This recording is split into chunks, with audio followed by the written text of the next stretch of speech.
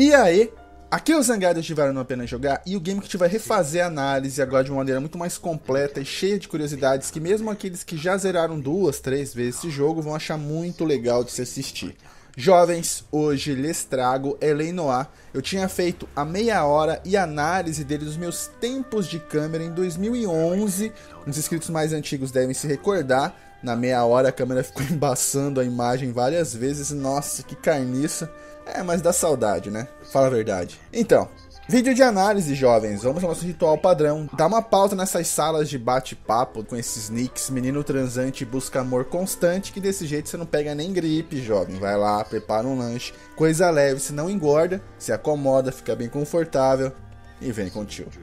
Noir é um jogo em terceira pessoa de gênero ação com elementos investigativos e uma temática de filmes noir. Eu já expliquei esse tipo de filme umas três vezes em outros vídeos, mas sempre tem alguém novo no canal que ainda não viu os vídeos anteriores.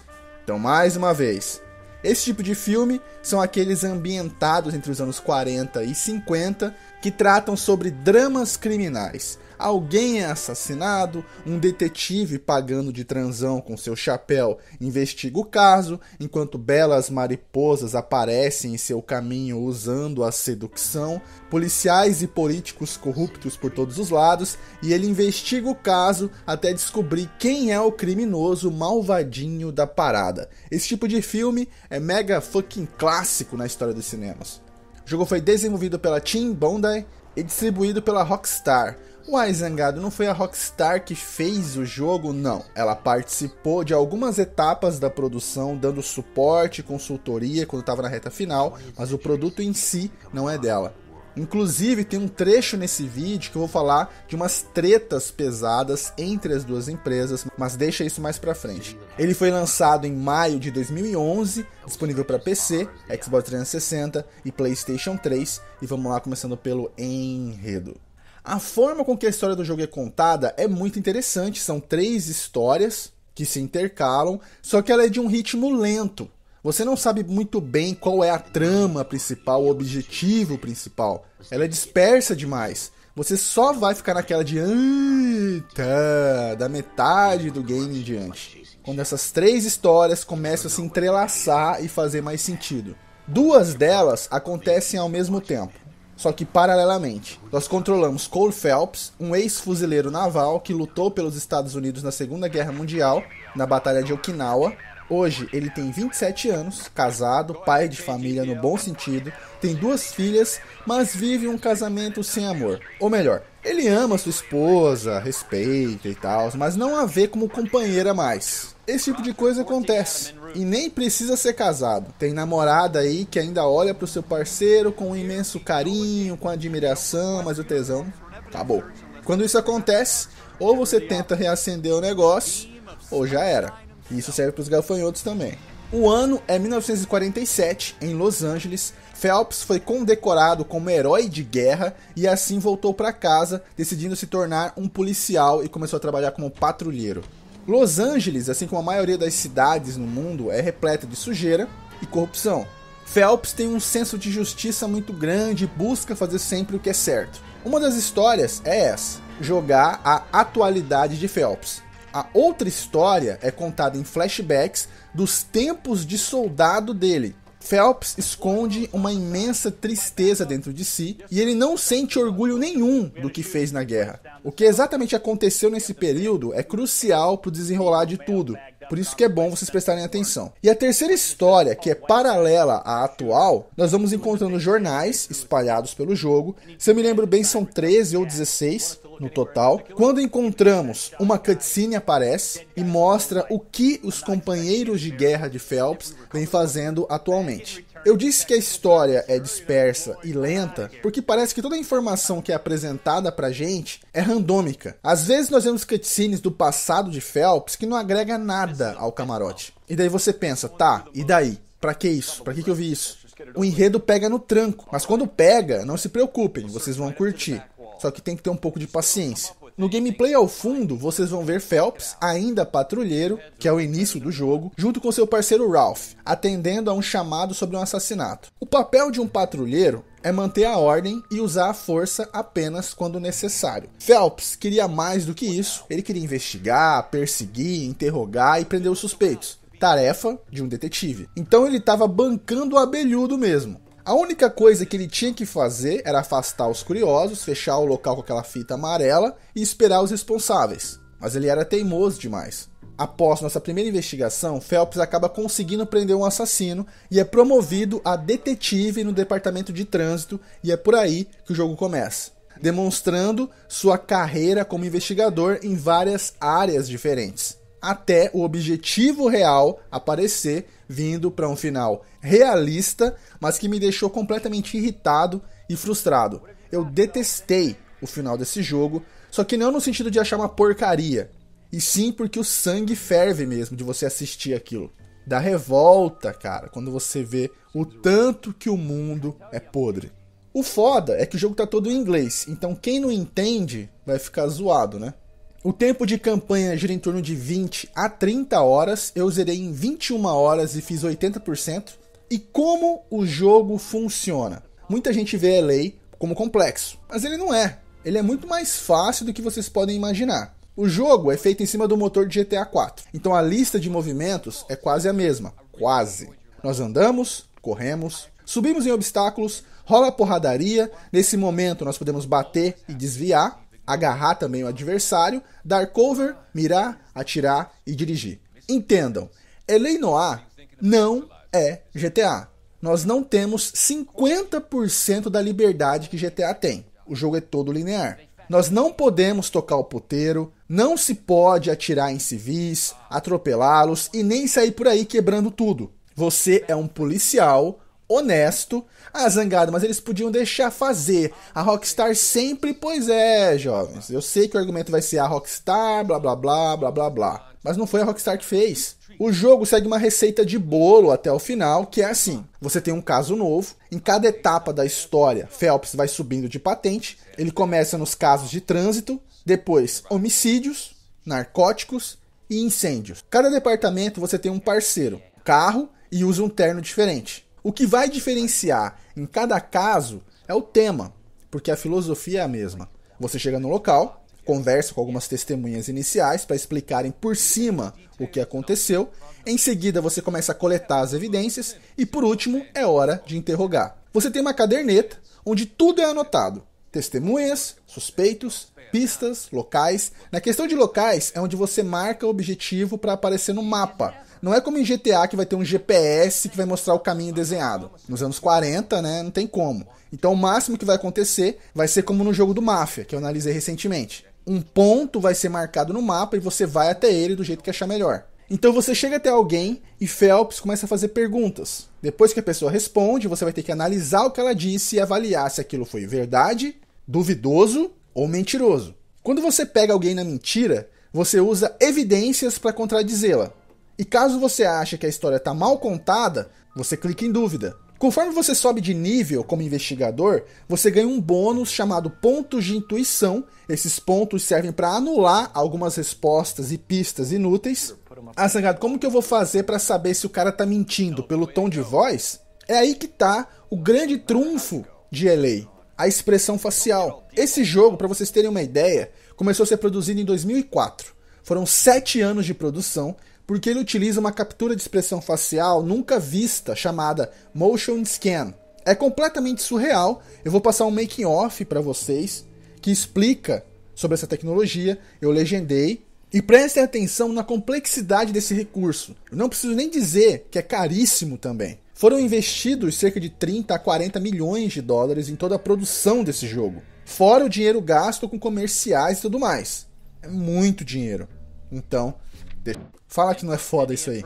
Ah, Zangado, eu vou me dar bem. Eu assisti todas as temporadas de Lie to Me, eu sei ler a expressão das pessoas. Ui, então tá, né? Quando a pessoa conta a sua história, detalhes da sua expressão devem ser notados. Se ela pisca muito, evita contato visual, se tá ofegante ou fazendo algum tipo de careta. É aí que tá.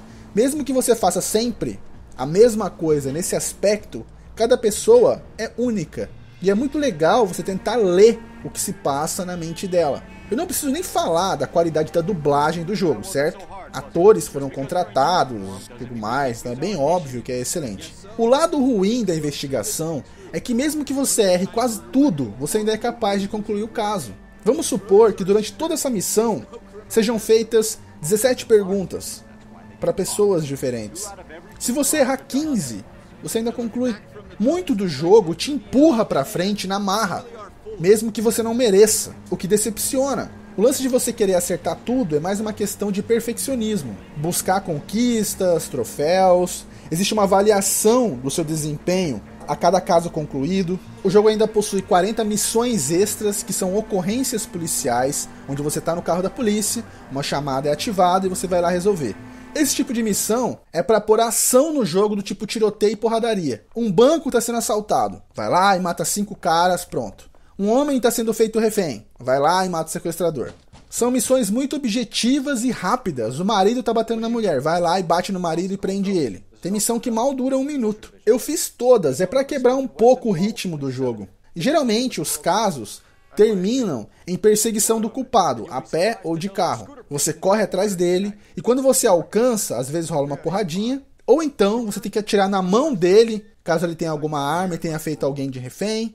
E você também pode intimidá-lo, colocando ele na mira do seu revólver por uns 5 segundos e atirando para cima, que daí ele se entrega. Assim como em GTA, existem segredos espalhados por todo o mapa. Tem, por exemplo, 50 rolos de filme no ar, os coletando gera porcentagem, no pacote de DLC, além de novos casos para se resolver, foram inseridos distintivos de polícia para se encontrar também pelo mapa. A ambientação é incrível, o mapa em proporção é muito maior que GTA 4, sem contar que se vocês derem zoom, vocês podem ver quantas ruas entrelaçadas tem, quantas casas, prédios, bairros, praças, um nível de perfeccionismo acima do normal. Mas Apesar de um mapa tão extenso, o máximo que você pode fazer é olhar. A interatividade é mínima.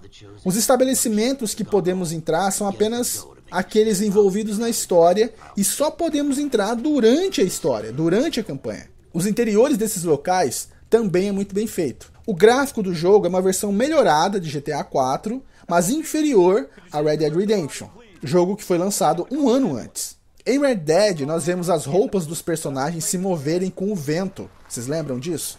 Em LA, tudo era focado na cabeça do personagem. O corpo em si era como de outros jogos, o que gerava um contraste e deixava os personagens um pouco assustadores assim. Quando sorriam, tanto que se caso LA ganhe realmente uma sequência, os planos são que a captura dela seja completa da próxima vez. O Zangada eu não entendi, é, por que, que não ia ter sequência? Olha, jovens, isso está associado às tretas que eu falei das empresas. Relaxa, que o vídeo já está na metade. Logo, logo chega nessa parte. Vamos seguindo. A trilha sonora do jogo é interessante, bem representada. Eu senti falta de uma estação de rádio. Em jogos de época, eu prefiro a trilha de máfia. Ah, Zangada, aproveita que você já falou de máfia, agora tá falando de L.A. Noir, faz Godfather. Eu vou fazer, calma. Os controles são idênticos aos de GTA 4. A jogabilidade é razoável, às vezes Phelps anda sozinho. Quando nós estamos em uma perseguição, ele praticamente sobe as escadas sozinho. E se caso nós nos distraímos e perdemos o rastro do fugitivo, Phelps tem a tendência de virar o corpo completamente e correr na direção certa sem você mandar. Eu não gosto quando o jogo tira o meu controle. Isso faz eu me sentir estúpido. Se eu sou burro de errar o comando, escreve game over na tela que eu aprendo com isso. Não fica facilitando as coisas para mim nesse ponto, porque é zoado, velho. O cover é bem lento também e só funciona quando você está muito próximo do local de proteção. Em Red Dead Redemption, John não precisa estar tá encostado. A uma pequena distância, ele já entendia o comando e se escondia. A dirigibilidade dos veículos não é muito boa, mas isso está associado à mesma coisa que eu disse no vídeo do Mafia sobre os carros, vocês se lembram, né? O game possui um arsenal, acreditem ou não, composto por 28 armas. Eu considero muito, porque atirar nem é tanto o foco desse jogo. Muita gente pode não ter reparado que tinha tantas armas assim, porque são oito tipos de revólver, dois tipos de rifle, dois tipos de submachine gun e por aí vai. Uma outra coisa que faltou nesse game é quando você atirar na perna de um inimigo, ele mancar. Ele não manca em Red Dead Redemption já acontecia isso. E eu fico sempre usando o mesmo exemplo porque um jogo é um ano antes Mas se você atira no peito de alguém, a roupa rasga, faz buraco de bala, atravessa o corpo e atinge a parede, fazendo buraco e manchando de sangue. O que é muito foda. O número de veículos é muito alto, mais de 90 tipos disponíveis. Cada veículo tem um detalhamento interno impressionante. Diferente de GTA, nós não ficamos trocando de veículo e roubando por aí. Porque a cada caso que você inicia, nós sempre temos um carro pronto para usar. Mas caso, caso você veja algum na rua que te agrade, você pode pegar. Uma coisa estranha que acontece é que qualquer carro que você pegar para dirigir ganha uma resistência acima da média. Você bate em alta velocidade em vários locais e pouca coisa acontece com o carro. Ah, zangado, vai que o jogo não tem essa tecnologia bem feita de amassar o veículo em locais diferentes. Não, ele amassa sim. Só que quando eles estão na mão de outros NPCs. Se tiver um NPC dirigindo e ele bater o carro, vai amassar. Se você pegar o mesmo carro e bater, o carro não vai amassar igual. Ele fica mais resistente na sua mão. Não sei se é para não ter que fazer o Phelps voar pela janela ou para dificultar que os carros fiquem explodindo. Sei lá. A inteligência artificial é boa, isso na questão de missões paralelas, né? Porque as principais seguem um roteiro, como eu já falei, nas paralelas que tem ação maior, os inimigos se escondem. Quando estão fazendo cover, eles dão uma olhadinha assim antes de se expor. Eles não criam estratégia, eles não se adaptam. Mas também não são estúpidos de ficar esperando você tirar neles. O loading demorado é apenas o primeiro, quando você dá new game, ou tá carregando um save. O resto é tudo muito rápido. Sobre bugs, ele tem aquele mesmo lance de GTA. Às vezes você olha para uma direção, vê uma mulher e quatro carros passando, daí você olha para o lado, daí olha de novo, a mulher sumiu e tem dois carros totalmente diferentes passando pelo mesmo lugar, isso em menos de 5 segundos. Quando o jogo lançou, ele tinha problemas mais sérios de travar em certas missões, outras não iniciarem. Isso foi sendo corrigido com o tempo, atualizações foram vindo e tudo mais. Elei Noir teve média de 8.9 nas reviews mundiais, o que interferiu nessa nota foram esses bugs de travar console e certas missões bugadas. De resto, foram muitos e muitos elogios. O jogo foi um sucesso completo, vendeu mais de 6 milhões de cópias. O problema é a incógnita de não sabermos se vai ou não ter uma sequência. A Tim já disse há anos atrás que vai ter. Uai, Zangado, não foi um sucesso? Por que, que não ia ter sequência? Agora vem a parte das tretas. Quando você zera Eleinoir e aparece os créditos, Muitas pessoas que estavam envolvidas na produção não tiveram seus nomes inseridos ali e resolveram atacar a Tim. Brandon McNamara, o diretor da empresa, aquele que apareceu logo de cara no vídeo do making off que eu passei agora, diziam que ele não tinha respeito com seus funcionários. Ele era estúpido e arrogante, os forçava a trabalhar 12 horas por dia e aqueles que o questionavam eram demitidos. Teve gente que trabalhou em 50% desse jogo e foi demitido ou não aguentou a pressão e saiu. E depois não teve seu nome inserido nos créditos. Vários desses funcionários dizem que Eleinoir estava marchando para ser um completo fracasso e graças a Rockstar e a sua consultoria espetacular na reta final, vários conteúdos inúteis foram retirados e alterações feitas. Depois que isso veio à mídia, a Rockstar cortou todos os laços com a Team dizendo que não iria ajudar ou distribuir Eleinoa 2, porque eles não trabalham com esse tipo de gente, e por conta disso, a Tim ficou queimada na praça. Várias empresas deram as costas para ela e a coisa tá muito estranha. Já foi anunciado, já foi confirmado um novo jogo. O prazo seria no mínimo de 5 anos. Bom, foram só 3, ainda tem tempo. É complicado. Muito complicado. E para encerrar, eu vou colocar um trecho de humor. Existe um vídeo com erros de gravação dos atores do Eleinoir durante a produção do jogo. É uma coletânea bem grande. O tio só pegou os mais engraçados e legendou para vocês. É muito da hora. Então eu me despeço agora e vocês curtem aí logo em seguida. Grande abraço, jovens. Espero que vocês tenham gostado. Não esqueça de avaliar, se possível comentar. E se gostou e não está no canal, se inscreve aí. Tudo de melhor sempre. Beleza? Então, valeu, falou e até. Até mais. The car you sold to Coombs was stolen, Miss Archer. There won't be any money.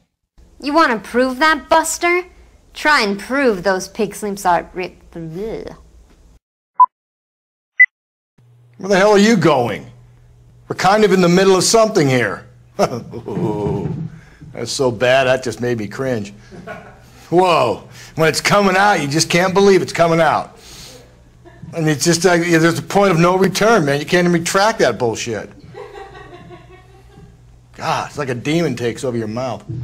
All right, let me get unpossessed here.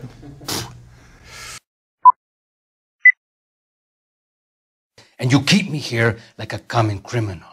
You're firing on it.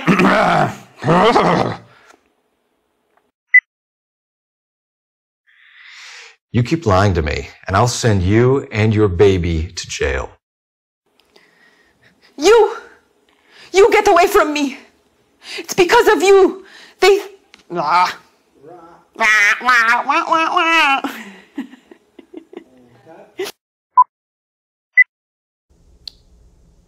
You want my opinion? We tell Morgan. I say he's lying, and whatever hole he's got Adrian stashed in, he's got to go back there sometime.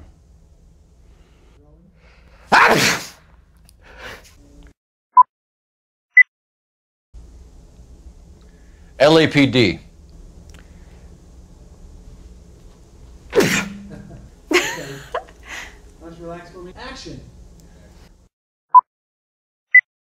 You're lying, Miss Coletta. You know what happened and why. You're going to tell me. I'll kill this son of a. j- Ah! Look, lady, we need to find him, and in a hurry. Are you going to give me trouble? Sir? Are you. Com- I can't get it out. Are you some kind of spy? Sir, are you some kind of spy? Let's try it again. Sir? Are you come. That's that. No laughing. What the fuck is going on here? Surrender now and nobody has to lie. Shit.